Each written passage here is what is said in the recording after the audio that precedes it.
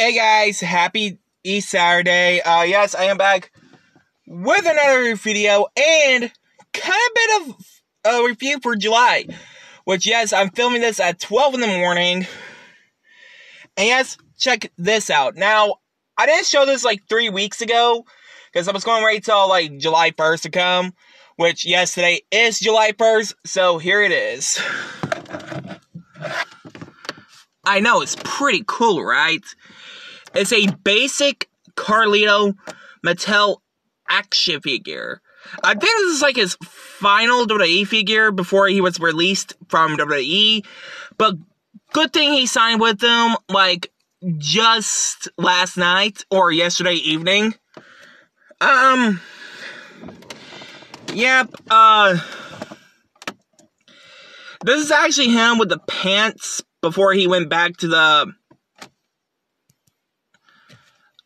Come on, if my camera will focus. Come on. Come on. Hold on.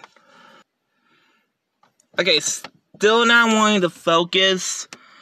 But, uh, I'm gonna keep it up close. This is actually his face.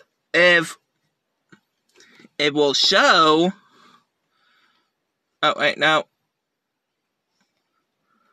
Okay, there we go.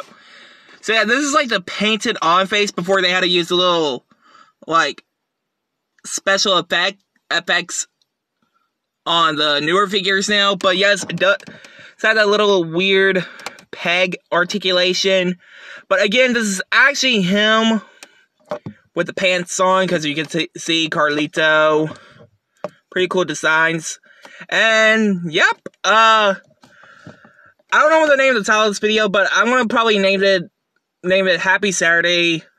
Uh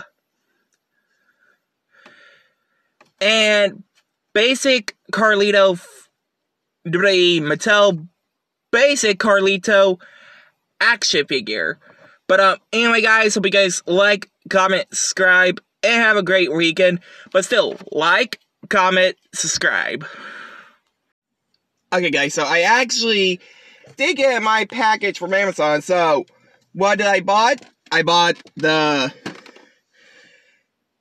Series 137 Seth Frick, well, mostly Seth Rollins. Uh, this is actually his Michael Jackson attire. Like, some people say this is like the one that he wore on SmackDown a few years back. I really still don't remember. When he was a SmackDown superstar, you know. But, uh, I'm gonna unbox this in the next video, so stay tuned for that. And, I remember told, remember I told you guys that I'm getting another Friday Night Surprise plush, which this is the one we're unboxing right now. I still don't get why they put in bubble wrap. Like, but it is what it is. But yep. Uh, also, some of y'all want to know like why it says character is here. Like, for example, Glamrock Freddy is here. It's kind of like uh, a reference, like my own version of Super Smash Brothers Ultimate. But uh, yeah. Uh, anyway, let's go ahead and get Glamrock Freddy out of the bag. Okay, for the record, I had to get a drink.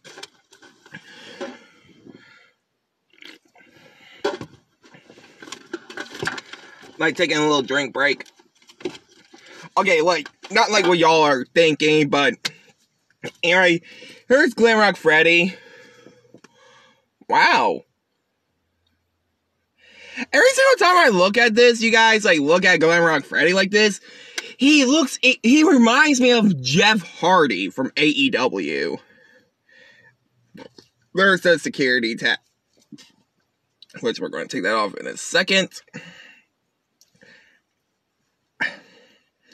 Come on, you stupid tag.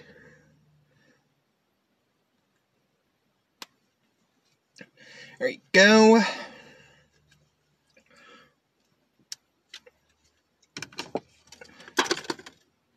Darn it. Hold on. I'll be right back. Okay, guys, so here he is. Out of the bag without the tag on.